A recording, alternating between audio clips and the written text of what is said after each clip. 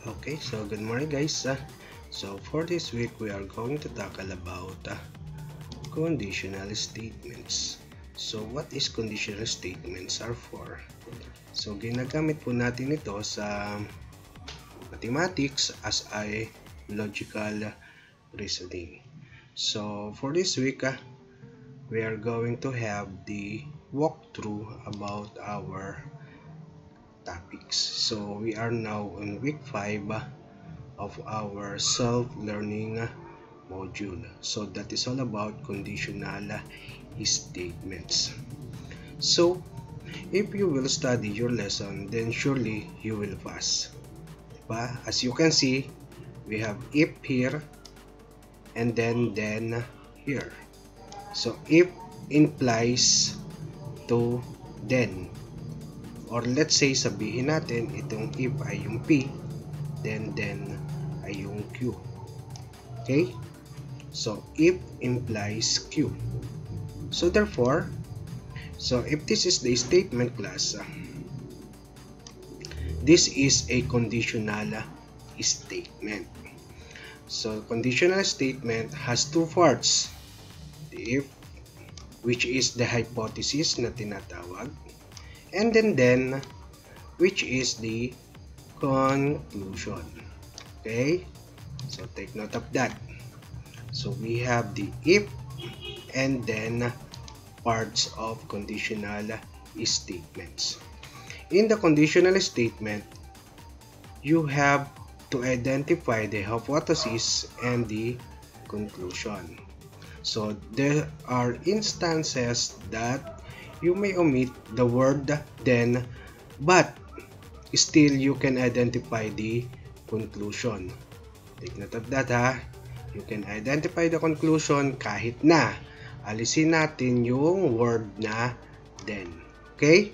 So for example, this statement is if x if 2x is equal to 12 then x is equal to 6 So, you may write it as if 2x is equal to 12, x is equal to 6. Inalis natin yung word na then, pero may conclusion pa rin.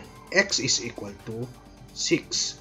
So, the hypothesis is 2x equals 12 and the conclusion is x equals 6. Okay? So, yun lang po yun. So, Here is the learning task 1 of our self-learning module. So for our learning task 1, so it consists of uh, uh, 5 items. 5 items po siya. Then you are going to identify the hypothesis, hypothesis and conclusion. So therefore, for learning task 1, it contains 10 points. As you can see in our Google Classroom. Ito po yung ating Google Classroom. So, 10 points po yung ating learning task 1. Okay? Okay. So, let us now proceed to our uh, self-learning module. Let us continue. A conditional statement is also called an if-then statement. If-then statement daw ha it has a truth value of true or false which is kaya nga po siya from the word conditional statement uh, to be true show that the when hypothesis is true. So the conclusion is also true. While to be false you need to have uh, a counter example where hypothesis is true but the conclusion is false. Okay? So for example if 3x equals 24, then x is equal to 8. So let us see. This is a true conditional statement since there is no other value of x that will make the equation 3x equals 24 true except 8. That is because 8 times 3 is 24. Another one. Show that the conditional statements which are false if x is x square equals 64 then x is equal to 8 the conditional statement is false since the conclusion have other value to make this statement true. That is because pag sinabi nating positive 8 lang, pwede naman kasi maging negative 8. That is because negative 8 square is also equal to 64. Diba? So, pwede siyang positive or negative 8. Okay? If a, if a figure has four equal sides, then it is a square. The conditional statement is false since rhombus is also a figure of with e with four equal sides. 2. 'Di ba? Ang rhombus kasi square din lang siya pero siya ay tumagilid lang as a diagonal ano. Naging slant lang siya pero with four equal sides also. Okay? Yan. So you can also write simple statements into conditional statement. Example, number one, a rectangle has two pairs of parallel sides. Okay, so if if the figure if the figure is a rectangle, then it has two pairs of parallel sides. So what is the hypothesis? The hypothesis is the figure is a rectangle. What is the conclusion? it has two pairs of uh, parallel sides. Okay? So, madali lang ano. The number is prime, it has only two factors. So, the hypothesis is the prime, the number is prime, then the conclusion, it has two factors. Okay? Number 3. Third example. One half of a number is 12. The number is 24. So the hypothesis is 1 half of the number is 12 and the conclusion is the number is 12. And uh, this is our conditional statement. If 1 half of the number is 12, then the number is 24. Kasi ang 1 half ng 24 ay 12. Diba? Yan. You can also uh, make a Venn diagram that can be used to illustrate the conditional statement. Things that satisfies the hypothesis but must be inside the things that satisfies the conclusion. So for example, if a number is an integer, then it is a real number. So meaning, nasa loob ng real numbers ang integers kasi mas malawak yung real numbers. If you are a Filipino, then you are and Asian. So, Filipino nasa loob, then Asian. Kasi ang Asian pwede rin maging Malaysian, diba? Lahat ng mga tao na nasa loob ng Asian continent. Okay? So, write the conditional statement statement for the Venn diagram. So, this time, kung ang given natin ay yung conditional statement na gagawa natin ng Venn diagram, this time, ang given naman po ay Venn diagram. So, nasa loob ng Calabarzon ng Rizal. If you reside in Riz Rizal, then you are from Calabarzon. Okay, so that is true. Then, if you eat eggplant, then you eat uh, vegetables kasi ang eggplant ay vegetables. Okay? So, yun po. Then, for our learning task 2, ang gagawin po natin, change the statements to an if-then or conditional statements. I-rewrite lang po natin and then identify the hypothesis and the conclusion. So, for set A, ang set A po natin ay 5 items and then siya po ay set A ay 10 points. For set B, we have 10 points also and 2 points each. Ito po kasi yon. Okay? For set B, 2 points is siya. So, determine if the conditional statement is true. If not, give a counter example. Kung siya ay false, magbibigay po kayo ng example. So, ganun po ka simple yung ating set B ng Learning Task 2. Then, for Learning Task 3, illustrate the following conditional statements in Venn diagram. So, sa set A po natin, ang ating points ay for set A, we have 10 points and that is 2 points each also. Then for set B, 10 points, 5 points each. Ayun po, ano ha.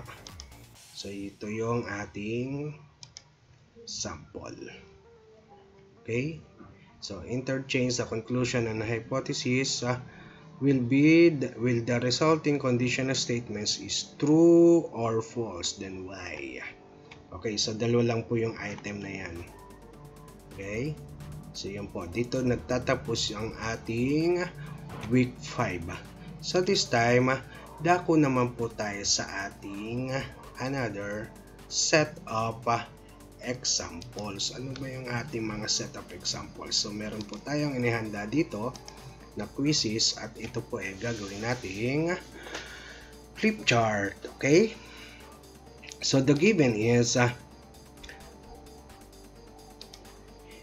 if I have a Siberian Husky, then I have a dog. Identify the hypothesis. Ito po yung ating options. If I have a Siberian Husky, then I have a dog. I have a Siberian Husky. I have a dog. So what do you think is the answer? So ang tinatanong po ay hypothesis. At ito ay I have a Siberian Husky. Ano po? Next. Which statement has a, a true truth value?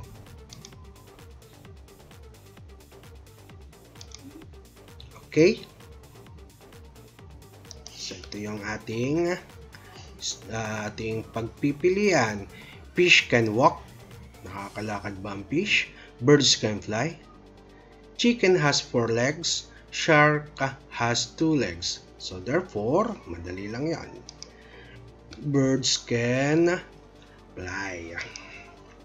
Next, for the inverse, we blank the hypothesis and conclusion and that is kapag inverse daw siya ay it's it switch negate switch and negate. And I think that is uh, negate. So ibig sabihin negative ang dating ano given if I have a Siberian Husky then I have a dog identify the inverse so ano yung inverse natin dito and that is if I do not have a Siberian Husky, then I do not have a dog. So, negative po. Okay? Nilagyan lang po natin siya ng do not, then do not. And, I, and that topic is for the next week. Ano? If it is dark outside, then it is night. So, ano yung converse statement nito? So the converse statement is uh, if it is night, then it is dark outside. So P implies Q. What is this? So ito yung ating pinag-aralan kanina na conditional statements. Okay? P implies Q. What is the converse? So ano naman yung kabaliktaran niyan? It is this one this one, this one, or this one. And I think that is yung kabaligtaran. Q implies P. Ano? Yung P or Q implies P. Next. If Jimmy goes on vacation, then he will go to Orlando. So what is the hypothesis of the given conditional statements? Of course, Jimmy goes on vacation. Next, identify the hypothesis and conclusion of the conditional statement. Okay, if you give me 20 pesos, then I will give you, I will be your best friend. Okay, so yon. Next. For the converse, we blank the hypothesis and conclusion. And I think that is switch. Pinagbabaliktad lang po natin. Given if I have a Siberian Husky, then I have a dog. Identify the contra positive. Ano naman po yon? So, yan po ang pagpipilian. So, the contrapositive, if I do not have a dog, so yung ating kaninang conclusion, ginawa lang po nating negative. Then, I do not have a Siberian Husky. Yung po ang paggawa ng contrapositive. So, conditional state, conditional, if Maria gets married, then the reception will be at the country club. What is this statement?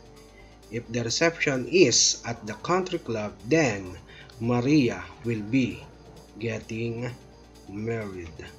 So what do you think is this? And that is converse statement. Okay? Is the converse true or false? Yun. Ayon dito sa ating illustration na conditional statements is the converse, true or false. Converse, if I am breathing, then I am sleeping. The conditional is, if I am sleeping, then I am breathing. Is it false? It is false. Next, given if I have a Siberian Husky, then I have a dog. Identify the converse. So, pagbabalik na rin lang po natin siya na ha. So, ito po siya. If I have a dog, then I have a Siberian Husky. The next, if Clarkson gives us a Mountain Dew, then he will be the coolest. What is the conclusion to this? He will be the coolest? Alright. Very good. Clarkson will be the coolest. Okay? So that's all for our review. Na. So once again, so thank you for listening. That is all about uh, conditional statements. Ano po? See you next time.